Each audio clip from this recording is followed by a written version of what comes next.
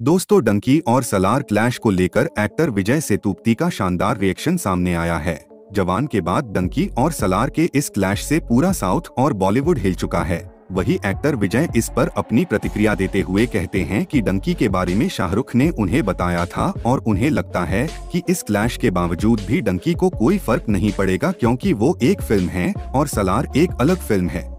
वही विजय कहते हैं कि प्रभाष उनके अच्छे दोस्त हैं और उन्हें भी एक ब्लॉकबस्टर वापसी करनी चाहिए। वही दोस्तों, अभी खबर।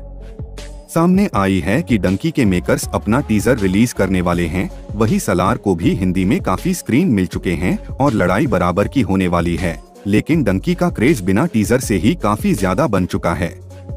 जवान के बाद फ़िल्म इंडस्ट्री से जितने भी लोग पब्लिक स्पेस में कुछ बोल रहे हैं।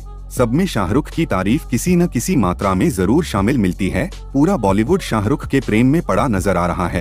एक्टर, प्रोड्यूसर्स और डायरेक्टर सब मुँह भर भर के शाहरुख खान की तारीफें कर रहे हैं। वही अब डंकी भी दिसंबर में रिलीज़ होने वाली है। डंकी की सीधी लड़ाई साउथ फ़िल्म सलार से देखने को मिल रही है और एक दूसरे के फैंस जमकर बवाल मचा रहे हैं। दोस्तों, इसलिए ये फालतू की हेट फैलाना बंद करो क्योंकि सलार और डंकी दोनों ही फ़िल्में बहुत अच्छी होगी, लेकिन सलार ने जो डंकी के साथ क्लैश किया है, वो बहुत गलत है। मूवी में शाहरुख खान और तापसी पन्नू के अलावा बोमन ईरानी भी होंगे। वही वायारेफ भी डंकी भारत के अलावा America, Australia, Malaysia, Dubai, Britain, रूस, फ्रांस जैसे देशों में बड़े पैमाने पर रिलीज़ कर रहे हैं। वही दोस्तों सलार के इस क्लैश दूसरी सबसे बड़ी ताकत है वो के जी एफ़ दो के रोकी का पंद्रह मिनट का कैमियो है।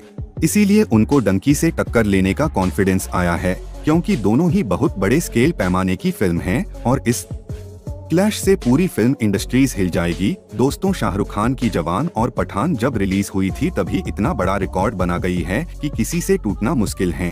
वही डंकी और सलार की ये लड़ाई फैंस वार में बदल चुकी है। कमेंट में हमें बताएँ कि डंकी या सलार कौन सी फ़िल्म आगे जाएगी।